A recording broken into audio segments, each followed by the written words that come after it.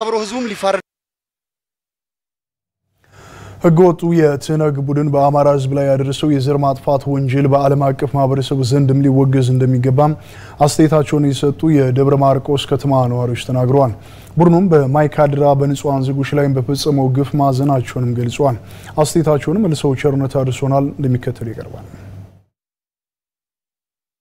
አማራን ቅድሚያ የማጥፋት ህልም ስለነበራቸው ያደራጇቸው ወጣቶች ያደራጇቸው ሽብርተኞች ይህን ድርጊት በአማራ ተወላጆች ላይ ትኩረት ተደርጎ የተፈጸመው ድርጊት እጅግ በጣም በሚያሳዝን በሚዘገንን ጉዳይ ነው የተፈጸመ።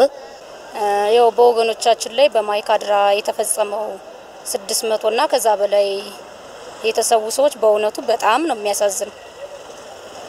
ምን በቃ ለመግለጽ ራሱ በጣም የሰው ልጅ እንዴት አብሮት ከኖረው አብሮት ከበላ ከጠጣ ወንድሙ እህቶቹ ጋር እንደዚህ አይነት ነገር መፈጸሙ በእውነቱ በጣም አዝነናል። የአሸባሪ ቡድን ትናንትና ለታ በስልጣን ዘመኑ የነበረውን ሁኔታ ሰቆቋን አልሰማው ብሎ እንደገና ይቺ ሀገር እንድትፈራረስና አንድነቷ እንድትፈርስ በአንድ የአማራን ብሔር እናጠቃለን፣ የአማራን ወጣት እንጨፈጭፋለን፣ ትውልድ እናጠፋለን ብሎ የተነሳው ጁንታ ቡድን የኢትዮጵያ መንግስትም እያስከበረ ያለው የህግ እርምጃ አገባብ ነው በሚል በዓለም ደረጃም ሊደገፍ ይገባል። ለሰው ልጆች አይደለም ለአውሬዎች፣ ለዱር እንስሳት እንኳን የማይታሰብ ዘግናኝ ነው። ይህ ደግሞ በአርአያ ሥላሴ የተፈጠረን ሰው በሰላም መኖር ሲችል ከፈጠረው ፈጣሪ በቀር ማንም ነፍሱን ሊወስዳት የማይፈልጋትን የሰው ልጅ በአሰቃቂ ሁኔታ በሰይፍ እየተቀሉ ባላሰቡት ሁኔታ ወንድሞቻችን ወገኖቻችን በሰማዕትነት አልፈዋል።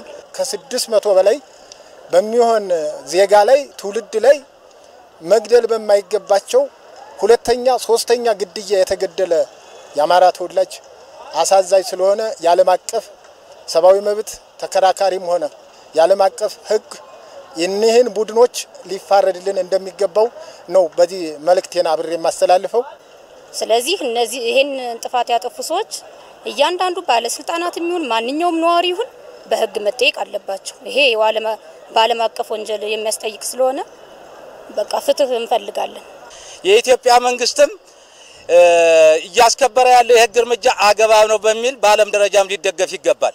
ለነዚህ ለአማራም ሆነ ለሀገሪቱ ሰላም ሲባል እኒህን ልጆች እኒህን ጅንታ ቡድኖች እና የህወሓት ተለላኪዎች እና የተነግ ቡድን ከፍተኛ በዓለም ህግ ተጠያቂዎች እንዲያደርግልን ሀሳባችንና አስተያየታችን እንገልጻለን። ይህን የፈጸሙ የጁንታው አባላት ደግሞ በዓለም አቀፍ ፍርድ ቤት እንዲዳኙና ንጹሐን ዜጎቻችን በህይወት መኖር እንኳን ባይችሉ በህግ ደማቸው እንዲመለስ መልእክቴን ማስተላለፍ እፈልጋለሁኝ።